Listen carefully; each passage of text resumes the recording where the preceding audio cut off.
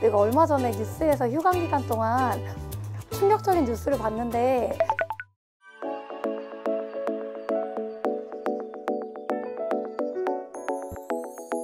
구독, 좋아요 부탁드립니다. 구독, 좋아요, 구독, 좋아요, 구독, 구독, 구독.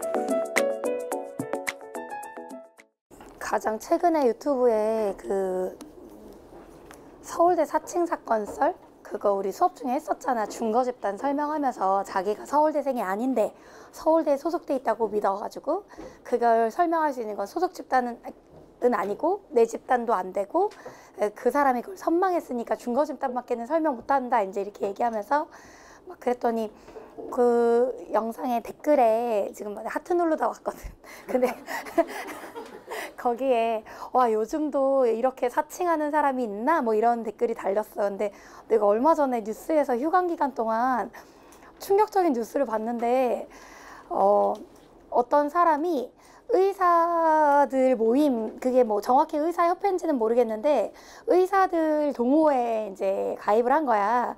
자기가 하버드 의대를 나온 의사라고 하면서 그러면서 이제 그 의사들이랑 교류할 때 의학 정보 최신 의학 의학 정보들을 이제 막 교류한 거야. 그러니까 어, 하버드 의대 출신인 유능한 어, 의사가 자기들한테 최신 의료 정보를 준다고 해가지고 이 의사들이 도움을 되게 많이 받은 거야. 서울대 의대 나온 사람들도.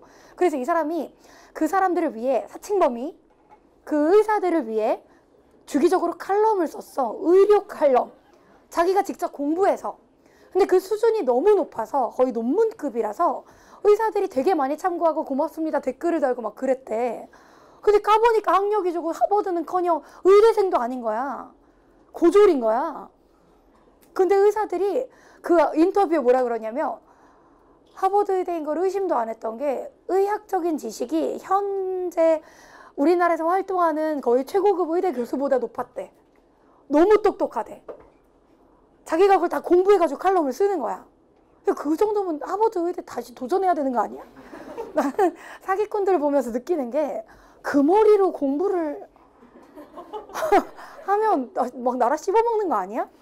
그래가지고 그 얼마 전에 뉴스에서 한 달도 안 됐어. 그거 보고 와 의사들이 속을 정도로 의료 지식이 뛰어나서 잡혔는데도 믿을 수 없다. 그런 똑똑한 사람이 왜 사칭을 하냐? 의대를 들어가도 몇 번은 들어갔을 사람이다 이렇게 말하, 말하는 그거를 봤어.